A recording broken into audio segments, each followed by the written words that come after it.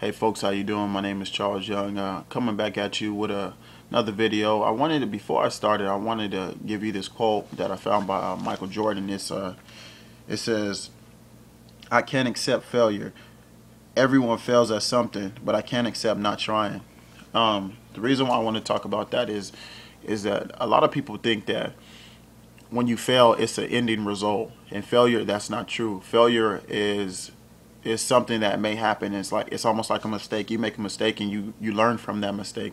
Failure, you fail at something. That's really all it really is. But when you hear that word failure, you think of ending result because they've been teaching us that for a long time. I mean, there's been a lot of people who have failed. You have you know Tyler Perry who was uh, on the bottom you you've had you had so many individuals. Steve Jobs got kicked out of his own business. You know, you have these music talents. Jay Z didn't drop his album until he's 26. Bernie Mac was on stage at 32. You know, um, you have so you know you have so many stories, and you know in life you have so many opportunities. You can never fail if you stop, you can stop trying, but you can never fail in life.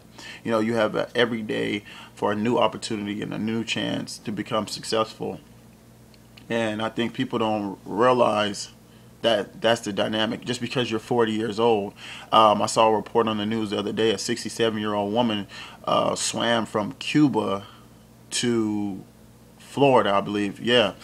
And she's been trying that. That was her fifth time, and she finally made it. And she said, "Any dreams are, are possible. Any dreams, you, any anything you can think of, it's possible. You know, right now you could you're hustling and bustling, every day to your job, you know, but you're not really thinking about, man, I could be using this same time and opportunity to create my own business. And you know you have to go after that. What is your goals and dreams? I understand we all need to work. I understand we, we all need to fund our success.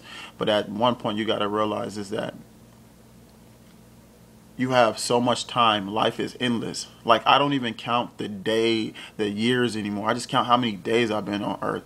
Like i've been here like 2000 and like 26 like you know count the days because every day you on earth is a new birthday. That's your new birthday. That means you every day you have another opportunity and another chance to be successful, not just oh I'm 30 and that's it. No, count the day. Every day is a birthday. Live every day like it's your last, and you know you have to keep trying. It doesn't matter what anybody else is going to think or say, or you know what your job say, because at the end of the day, they're not going to be there when you're sitting there and you're not happy.